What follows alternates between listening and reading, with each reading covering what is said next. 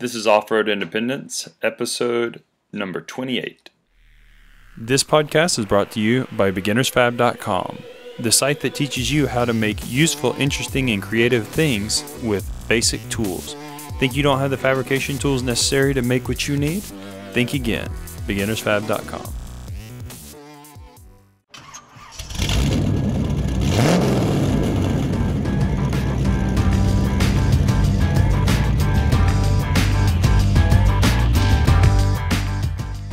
This is Off Road Independence, the podcast that talks about trail repair, vehicle modification, and gear selection, helping you become more independent in your off road adventures.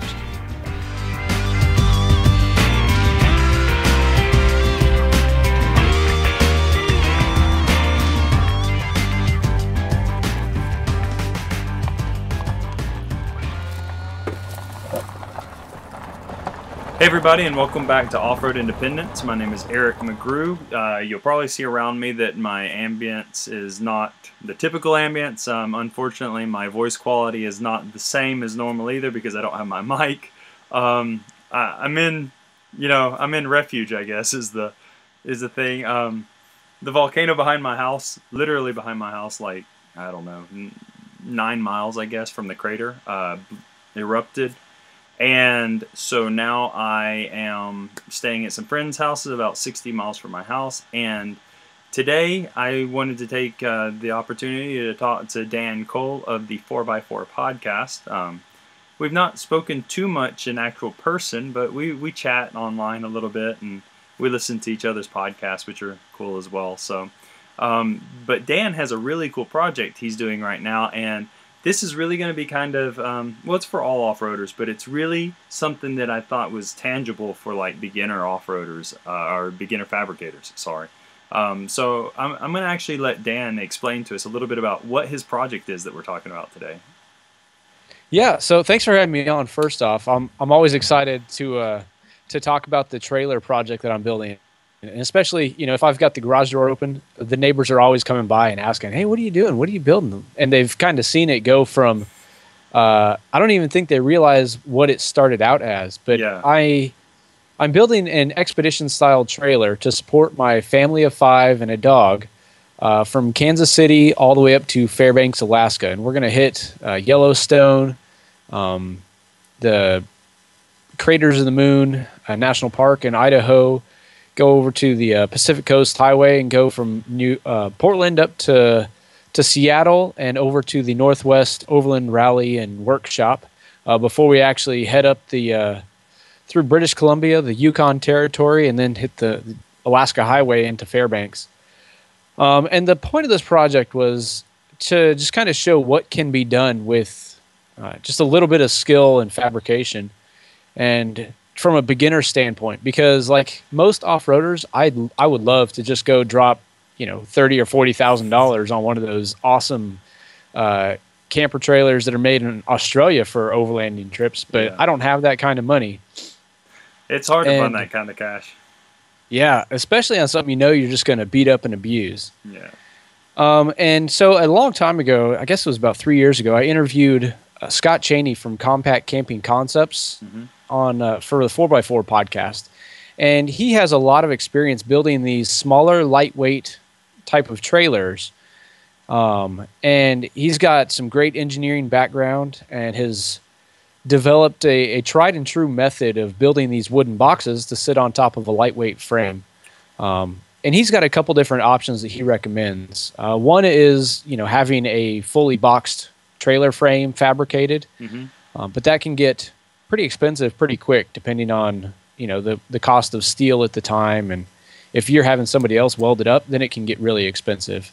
Yeah. Uh, the other option is the one that I've taken is using a Harbor Freight frame, and Harbor Freight is you know widely known as being a cheap Chinese Chinese made uh, trailer, mm-hmm. uh, but I think it's it's a really good starting point as long as you understand that it, it has some limitations and take that into consideration as you fabricate a trailer for it. Yeah. Um, so I went ahead and used the the largest, heaviest duty frame they have, which was I think rated for like two thousand pounds. Mm-hmm.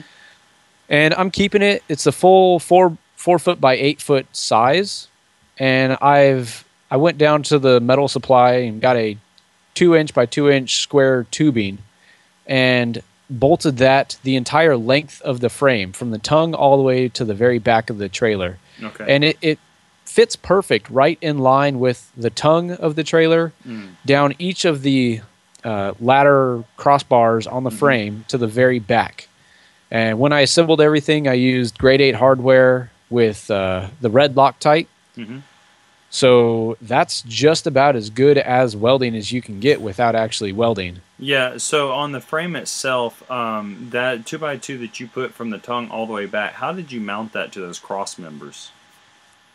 So I ran a grade 8 bolt straight through the trailer frame all the way through the square tubing Okay. and capped it off at the bottom. Okay, so you didn't So- make like a bracket around the um, two by two. You actually drilled through the two by two and bolted it to the center of the cross frame.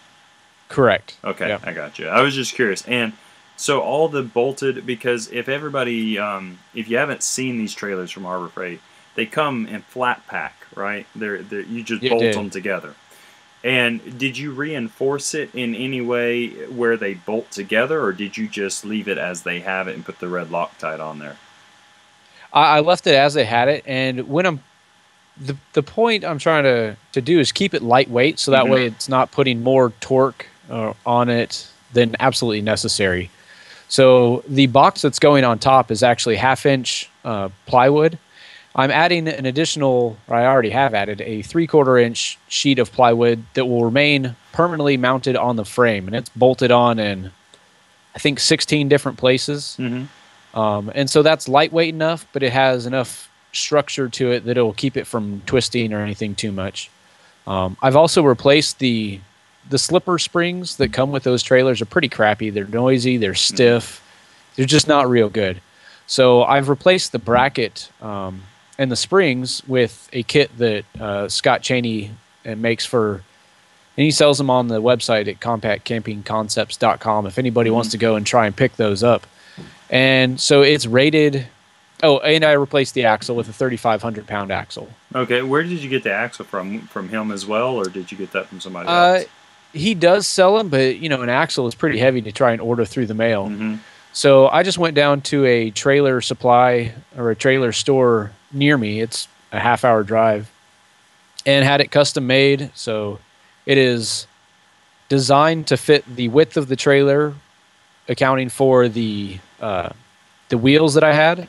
So the wheels that are going on the trailer actually match the bolt pattern and size of the Yukon XL that I'm going to be pulling the trailer with. hmm So that way I don't have to take as many spare tires on this long trip. I can still use the spare from the truck on the trailer, or if the trailer, you know, if I use up my spares, I can pull a wheel off the trailer and leave it on the side, go get a tire, and then come back for the trailer.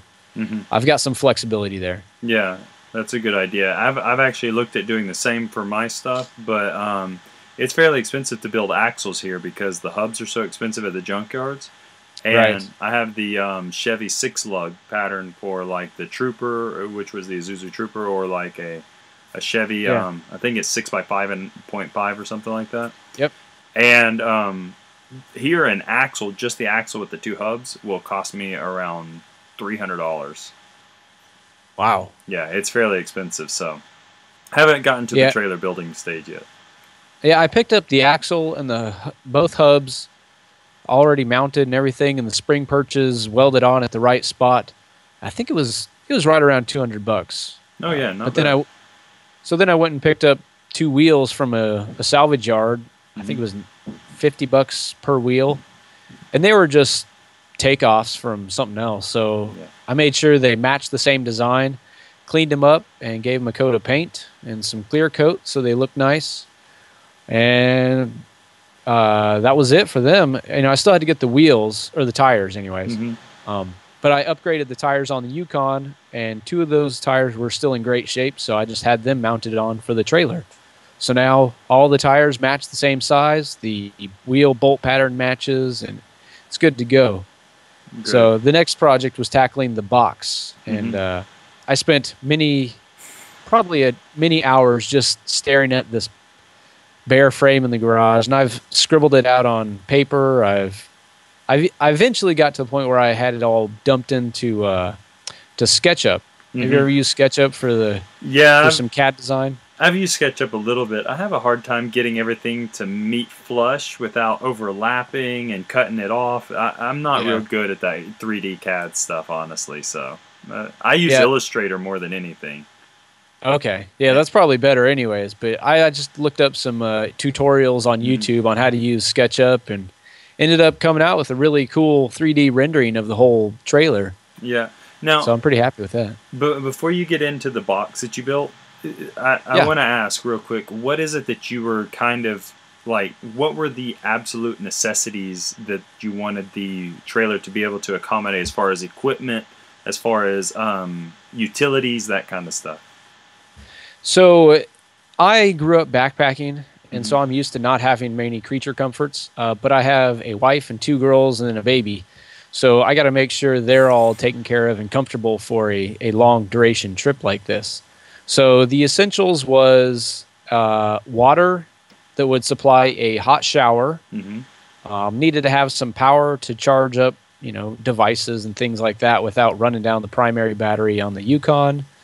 Um, also need to have some spare fuel for the trip because there's some some long stages of the trip where I need to have some some fuel to refill the the fuel tank. hmm Um, and just room to spread out. I've come to find out that it, the more stuff that you have piled inside the vehicle is just it's going to make it uncomfortable. So the more I can move to the trailer and keep the vehicle relatively empty, it, the better. And also, this last uh, major trip that we did, we had a vehicle broken into. Mm. So I want to have everything kind of out of sight and out of mind and locked up in the trailer if I can. Yeah, that's a good idea. Yeah. So, and that's those were kind of the core design things that I had to have. Um, so the first thing I had to do, figure out was, you know, water is probably going to be the heaviest thing that I take. So I've I've got a 25 gallon water tank that sits directly above the axle, so that way it keeps the weight pretty well balanced, and that's not going to put too much stress on the frame since it's it's a long tube or a long tank. Uh, so it's it's not just trying to put torque all on one spot.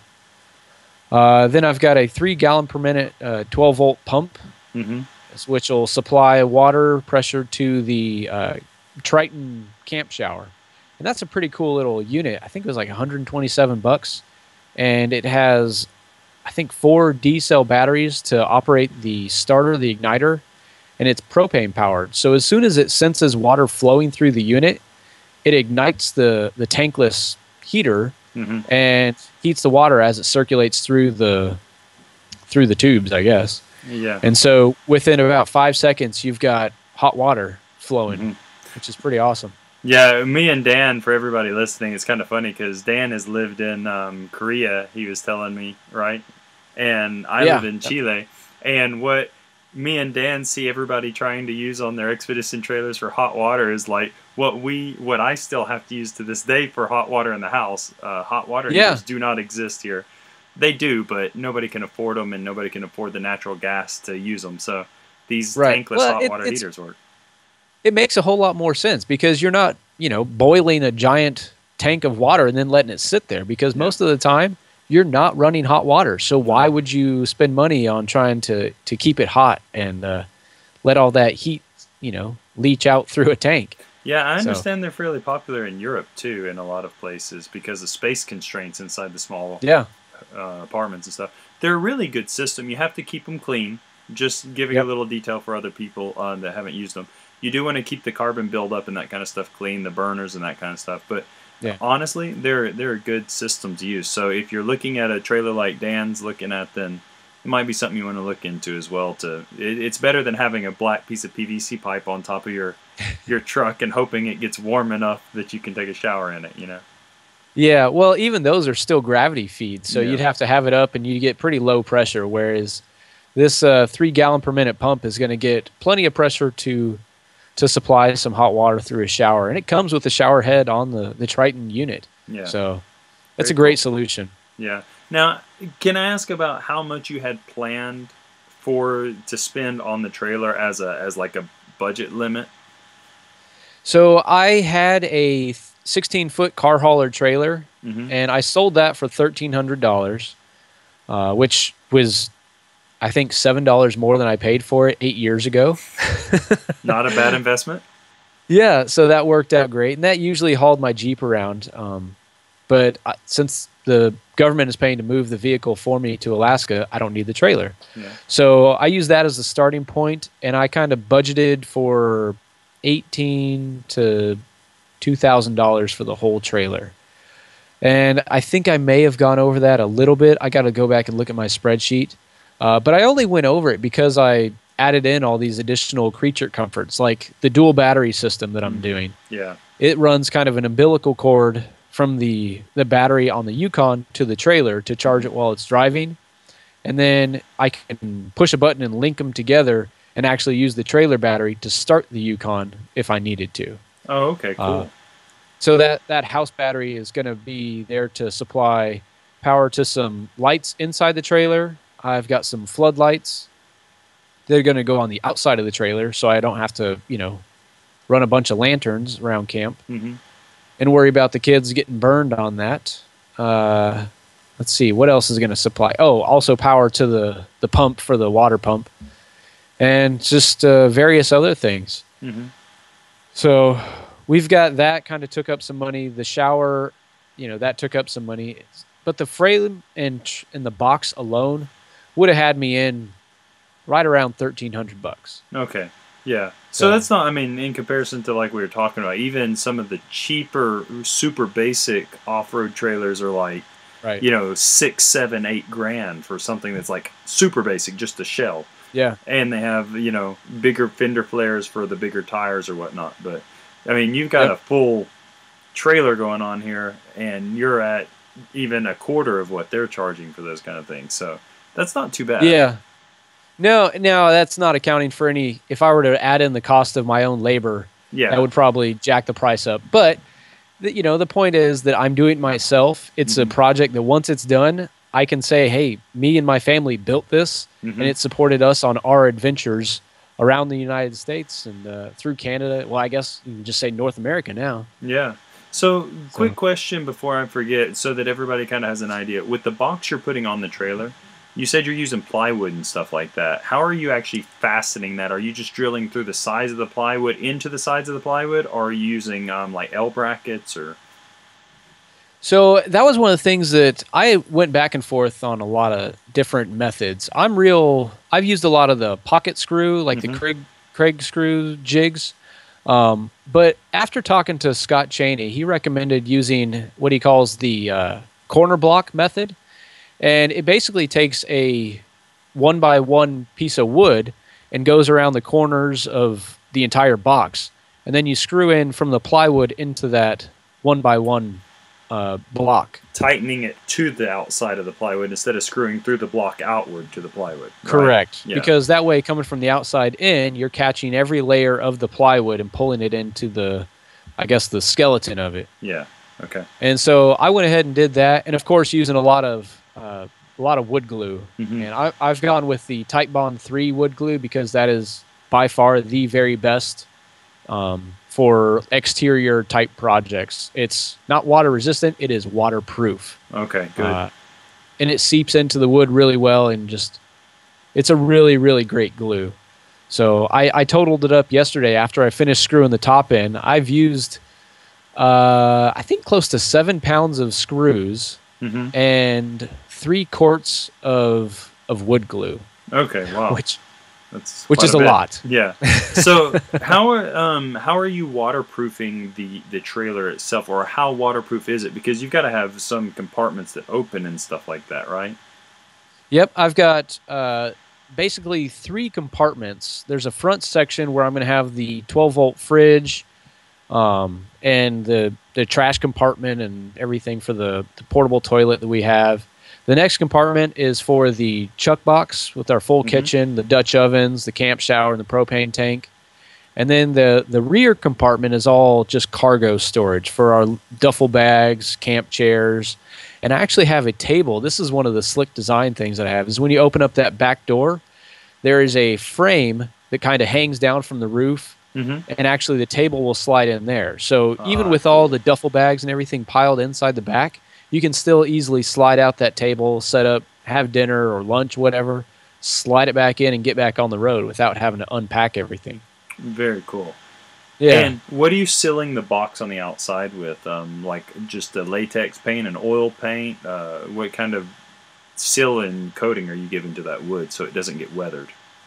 Well, I was looking at using Monster Liner, like a bed liner coating. Um, and Scott Cheney's had lots of great success with some stuff called Durabak, Mhm. and it's essentially a it's a one part bed liner type system. Um, but that gets pretty expensive. When I looked at the box, I've got to have I'm covering 208 square feet of wood. Yeah, that's a lot. And if you figure your average truck bed is about 86 square feet, you can take that price for coating a bed uh, three times. yeah. so that got expensive real fast. And so I've looked at a lot of different things, and I was ready to drop the couple hundred bucks for the uh, for the bed liner for the Durabak stuff. Uh, but then I discovered something that was made for decks, uh, Mhm. stuff that's going to be exposed to lots of foot traffic, shoes, and being out in the sunshine all the time. Tuff Coat? Uh, no, this I think it's made by Rust-Oleum, but it's like a times ten stuff, and so it's still going to have that rough kind of bedliner Mhm. finish, but the finish is close to a quarter inch thick. Yeah. it goes on really thick and heavy. Okay. I asked So about I tough bought- coat. Oh, sorry. I asked about Tuff Coat because I um, I had thought about importing Tuff Coat to Chile and selling it, but because of chemical restrictions and that kind of stuff, and it's made for that. It's made for the insides Yeah. of swimming pools and swimming deck areas. They use it in a lot of like theme parks for that kind of stuff. Um, and it looks like a really good product too, and it's water based, so you don't have to use any kind of xylene. You don't have to use anything to clean it up with, and that's why I thought There you go. Cabela's sells it. I think for boats. You know what? I've seen it there. You're right. You're right. Yeah. But this was this was something else. I'd have to go back and look at it. But I think it's made by Rust-Oleum. Okay. Uh, but it comes in five gallon buckets. Mhm. I bought two buckets, which will give me a little more than I need. hmm Uh, so I'll apply some extra coats to the bottom of the trailer and to that front side, uh, the areas that are going to get pounded by gravel the most, Yeah. to give them some additional protection. Okay.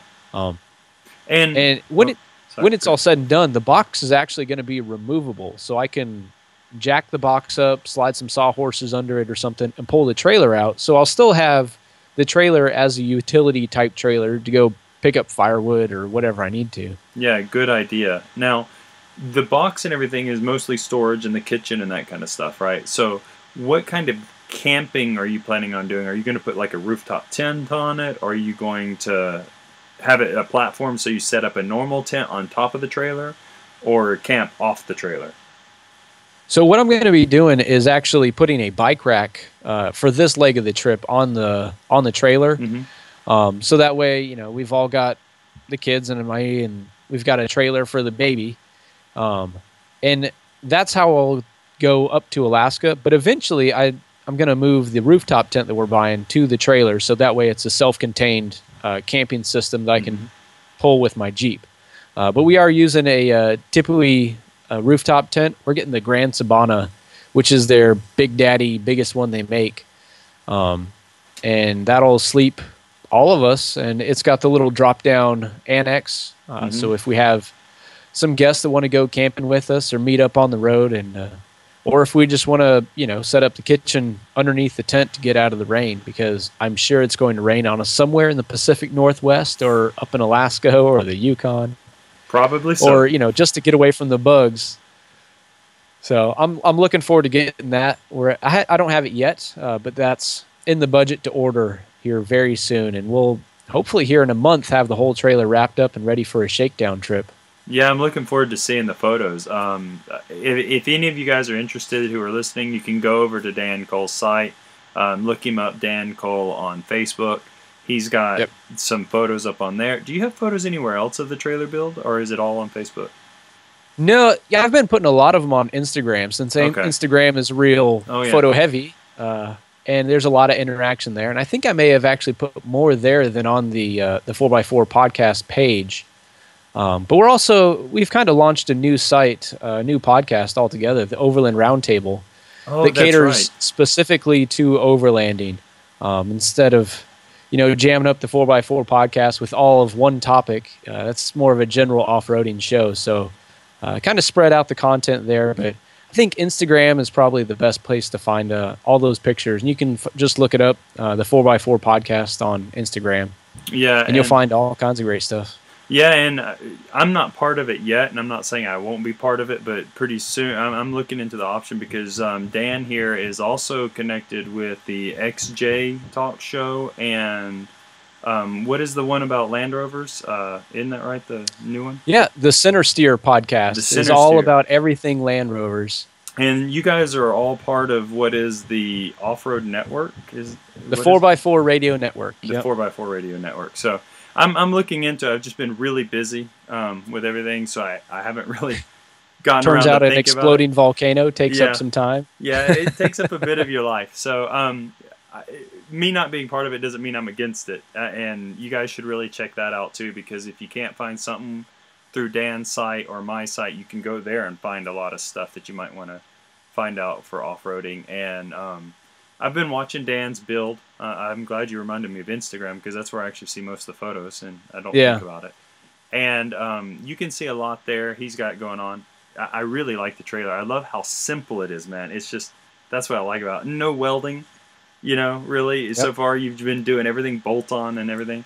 And I've been really stoked to see how this works out for you so that people who do want to do something that's cool, that's functional, but super basic can see Right. I don't have to buy a welder. I don't have to, you know, invest all this cash in it. So, and I, yeah, and that's not to say I won't in the future transition to using a fully boxed and welded Yeah. frame. Um, but you know, like you said, it's just to highlight what can be done if you uh, put your mind to it and uh, take your time in the process of building it. Yeah, no, and I appreciate it. Um, if this podcast sounds a little rushed, I apologize, folks. It kind of is a little rushed, um, but in a good sense. We we wanted to get together. We had a little bit of spare time. We want to talk about it, and um, my my schedule once again, not not making excuses, but the reality is my schedule is kind of crazy, being the way it is. So. Dan, really, thanks for coming on the show for a few minutes with me to talk about your very cool project. I'm yeah, really thanks for having me. I'm looking forward to seeing the photos and seeing how it works out up there in uh, your trip north, you know, to, to Alaska. I'm curious as to how it'll handle on the road too. me Um, too. you know, one one tip, and you may know this. Okay, so just one tip. I used to drive pest control trucks because I did pest control, and we had the like 50 gallon tanks in the back. You know, Uh huh. when that tank gets halfway full, Oh yeah. be very careful because that water shifts and i've slid through more than one red light because it turned yellow and red and it was a slightly wet day and that water pushed forward and there you go you know so just Yep. be very careful with that oh that's a good question what what braking system are you going to use with it real quick are you using I'm actually brakes not. or I'm I'm not using a brake system on this trailer Okay. at all because, like I said, I'm pulling it with the Yukon XL, which is rated to tow 10,000 pounds, and the loaded weight of this trailer I've calculated to be about 2,000. okay cool So it's it's well within the limits, and the brake system on that Yukon is excellent. It should be able to stop it no problem. Okay, perfect. Well, now we'll close out. So, so once again, thanks Dan for for coming on. I'm I'm looking forward to talking to you again. Um, when do you guys make your trip?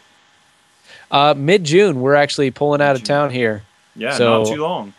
Yeah, and I need to get it wrapped up here so we can do a, a test trip and make sure I've got all the kinks worked out and everything's buttoned up. Yeah, Now, there's probably going to be some projects that are not complete. I'll have to finish them during pauses along the journey, uh, but it'll at least be complete enough that we can get the primary stuff going. the axles mounted, the lights Yep. working, and the trailer hitch mounted, and that's your biggest. Well, the box too. You don't want it to Yeah, fall off. I gotta get- road, I've got to get the box final mounted. I've I've put it together and it's not in its final mounting because I do have to pay, take it off and do all the painting on the bottom side still. Yeah. But Uh, well, and it's it's coming soon. Dan just recently showed how important it is to have at least one high lift jack around it. Um, he used Well, two, yeah. in fact. I had to call a buddy because that was funny. The trailer when I put it on jack stands was as I took off the little tiny 12 inch wheels and to put on the 33 inch tires on here. Uh, I had to lift it up a lot, and I probably could have lifted it up. You know, it was just a deadlift of probably about 500 pounds. So it would have been a strain, uh, but I probably could have done it and had somebody slide jack stands under it. But instead, I called up a buddy, borrowed his high lift, and we uh, lifted it up. It was still pretty unsteady, um, Yeah. but you just take your time and you got it. Yeah, trailers are never fun to lift, no matter how you do it. It's it's always Yeah. awkward. So, but once again, very very cool. Thanks, Dan, for being on the show. And don't forget, guys, go by the Four x Four podcast and also the Four x Four Off Road Network. Uh, 4x4 Radio Network. and Radio it's just 4x4radio.com, I think, is our website. And you can just hit play there, and it'll cycle through hours and hours and hours of off roading content while you're at work. I'm gonna get hate mails from Tony and Josh by not being able to remember this. That's okay. They butcher it. They can't even remember it on their own show.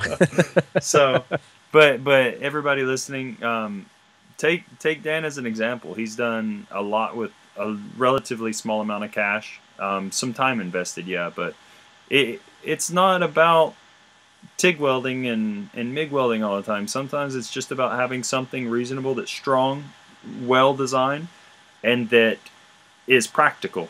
You know, um, Yeah. I think we get over. Sometimes we get overly focused on that beauty factor of being like a boutique kind of yeah. piece made, and it's not always needed. I mean, th- if you can afford that, that's fine, but really, it's not always needed. Yeah. So.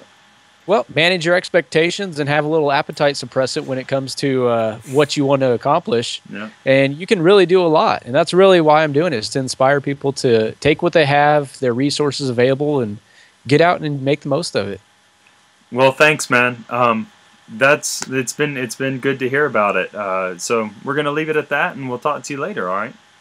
Sounds great. Talk to you later. Please don't forget to stop by and check out Dan Cole at the 4x4 podcast, and also to check out all of my sites over at ericmcgrew.tv and beginnersfab.com, as well as offroadindependence.com.